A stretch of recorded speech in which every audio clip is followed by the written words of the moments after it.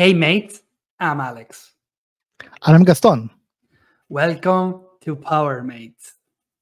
This is a place to learn and share about Fabric and Power Platform. If this is your first time here, don't forget to subscribe, like, and share this channel with your friends and colleagues. Welcome again, Power Mate. In today's chapter, we are diving into OneLake as a key element of Microsoft Fabric. So stay with us as we guide you through the journey of unraveling the sense of Wild OneLake. So Gaston, please enlighten us on what is OneLake. Yeah, right on, Alex. Let's uh, demystify the concept around One Lake and how uh, we can be using this in your organization. Let me start sharing my screen to talk about the structure that OneLake bring to the table. First of all, I would love this kind of analogy between OneDrive and OneLake. OneDrive is for documents, and this concept of OneLake is like your OneDrive for data. That means that you're going to be having in your Fabric capacity a OneLake structure for every single Fabric tenant. I love the, the idea you know behind of saying that OneLake is the OneDrive for data. So what is the main benefit of OneLake that you see right now for organizations? Yeah, let's go back to my machine and you can see that there's multiple reasons on that explain the real benefits around OneLake. First of all, to organize your data around different domains getting a single foundation framework for all your fabric artifacts. As you can see, and I, we mentioned that in our last episode and videos before that, you know, you have different workloads for different personas, data warehouse, data engineer, data integration, data scientist, real-time analytics, and of course, Power BI. So that means that one of the huge benefits is having one lake as a foundation for all your fabric artifacts, meaning that every single lake house or data warehouse, every single artifact lives and get data directly from uh, OneLake.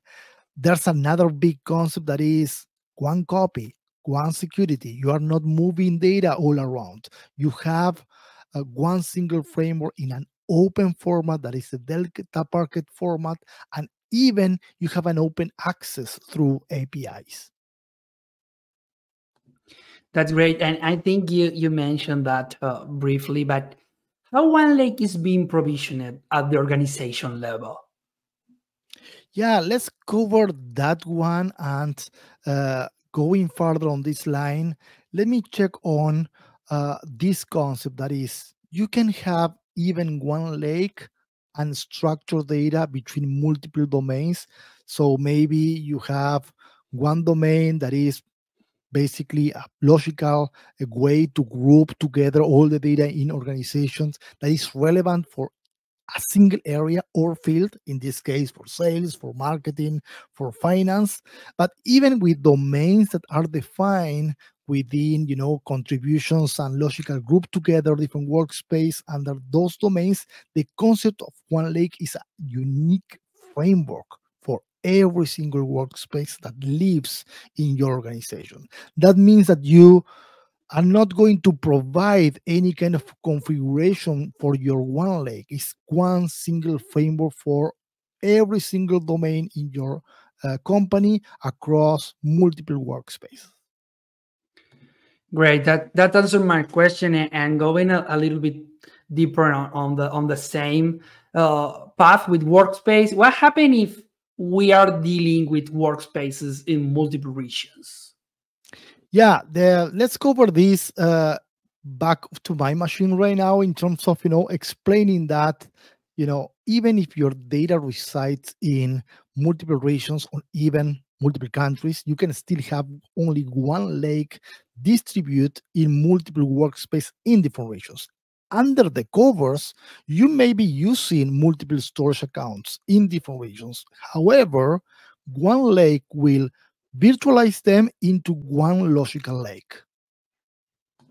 Great. And this is kind of a more personal question, but could you tell me from your perspective and experience talking with clients. Uh, what is the wow feature linked to OneLake there are so many concepts that they are really amazing uh, in OneLake but there's one simple basic concept that is you know the concept of OneLake file explorer I am showing right now that you can just download this application that integrates your Microsoft OneLake in your Windows File Explorer directly in your machine. That means that when you install File Explorer for OneLake, you're going to be checking in your Windows Explorer something like this, you know, kind of a moving towards my uh, archives here in my machine. And then I see my OneDrive uh, in my case and OneLake concept here. The OneLake icon, the OneLake application in my Windows Explorer is connected directly to my Fabric tenant, meaning that I can see all my workspace and between workspace, I see not only the workspace structure, I can start copying and pasting file between artifacts, meaning that if I need to drop a file into a lakehouse, I just can copy and paste based on that file. You know, if I am talking about structured data, I can see all my files here. I can move CSV file, uh, images, icons, and so on. And this is going to be syncing up with my Fabric tenant in the service itself.